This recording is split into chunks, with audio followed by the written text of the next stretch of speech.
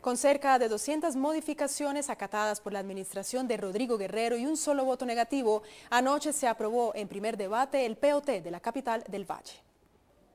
Con seis votos a favor y uno en contra fue aprobado el plan de ordenamiento territorial en primer debate. 186 modificaciones presentadas por los concejales fueron aceptadas por la administración municipal. El POT que nos trajo la administración tenía muchas dificultades, reducía dramáticamente los índices de construcción en altura, desconocía las apuestas competitivas de la ciudad en salud y turismo y golpeaba el bolsillo de los caleños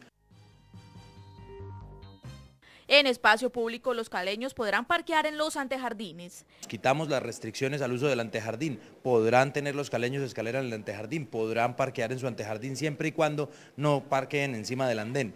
Y, por supuesto, vamos a establecer unas zonas de estacionamiento regulado para que los caleños puedan parquear sobre vía pública, pagando por ello, eh, formalizando a esos trabajadores del trapo rojo y desestimulando que la gente ocupe la calle indiscriminadamente. Si parquear, gratis eh, si parquear en la calle es gratis, todo el mundo lo va a hacer.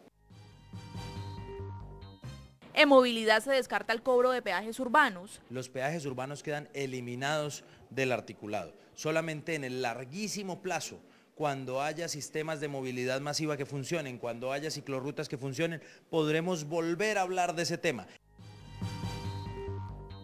En medio ambiente se aprobaron las ciclorrutas en zona urbana y rural incluir un gran programa de adaptación para el cambio climático. Se incluyó además un gran programa de pasivos ambientales. ¿Qué significa eso? Que podamos tener una medición de dónde se hacen daños ambientales y cómo se van a resarcir esos daños.